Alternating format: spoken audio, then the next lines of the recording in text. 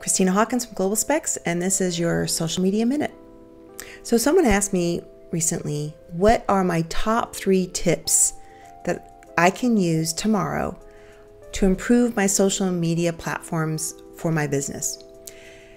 I'll try and keep them to three. the first is just do it. Just do it. Don't wait to hire somebody. Don't wait for the perfect person, the perfect moment. Just do it. If you're in the construction industry, while you're there, while you're at the job site, start taking pictures, start taking videos. They don't have to be big productions, special lighting. People just want to see you at work. They just love that stuff. So just just just do it. Just do it. Don't worry about perfection. Don't worry about if it's somebody's going to like it or not or how you look or you know, just do it. The second is be authentic. Going in line with the just do it concept is just do it and be yourself. Be real. If again, construction company, whip out that phone and just share the build process. People love that stuff. They want to see the progress of your if you're remodeling a bathroom or a bedroom or you're at doing an add-on. If you're in the energy field, they want to see people at work.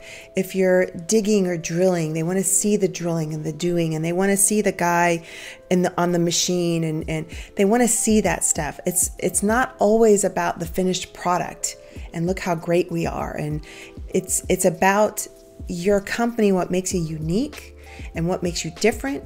So do what you can in that way in that regard. The third is you use video as much as you can. If you can go live.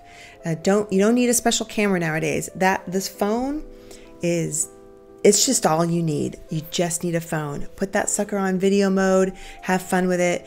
There's all kinds of apps on there that you can crop and stuff. And just don't think that you have to spend an hour creating the perfect video. A snippet of 30 seconds is perfect. It's fine. People aren't really going to watch that much more anyway. Just take snippets of stuff, put it on your social media platform, do it when you can. Be a real, be authentic, and I I guarantee you you'll get a lot more engagement and you'll get hopefully leading to sales. All right. Have a great one. See you soon.